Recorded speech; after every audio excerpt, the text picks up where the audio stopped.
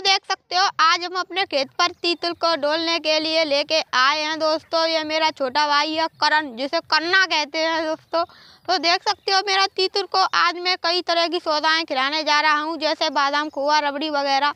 काफ़ी चीज़ें खिलाता हूँ, जिससे वो काफ़ी स्ट्रॉन्ग हो चुका है दोस्तों। तो देखते हो, आज मैं आपको दिखाने जा रहा हूँ, खोआ खिला करके और उसमें मिक्स पनीर।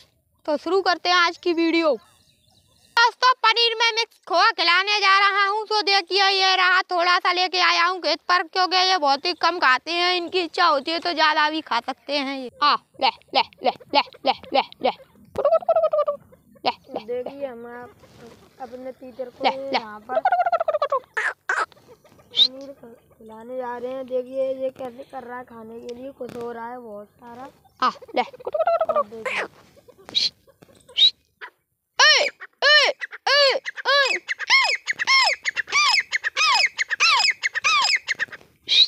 आ ले ले आ बेटा बंद कर ले करना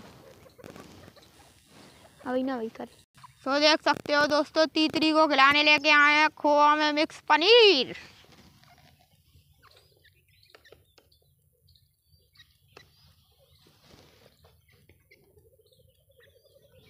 तो दोस्तों काफ़ी इच्छा है इनकी यह चीज़ खाने के लिए तो इसीलिए हम इनके लिए रोज़ बीस रुपए की सौदा लेके आते हैं खाने के लिए दोस्तों